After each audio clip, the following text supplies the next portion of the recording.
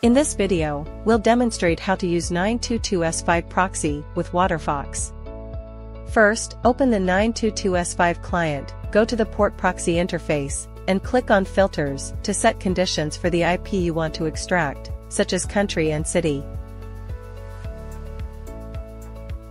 After filtering, choose the desired IP from the proxy list, right-click on it, and forward it to an available port.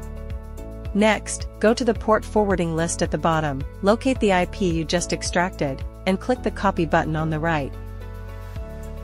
Now, open the WaterFox browser, click on the options icon in the upper right corner, and find Settings in the drop-down menu.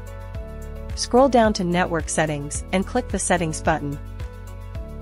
Select the fourth option, Manual Proxy Configuration, and paste the copied IP information into the SOCKS host field. Make sure to enter the correct port as well. Check that SOCKS v5 is selected at the bottom, then click OK.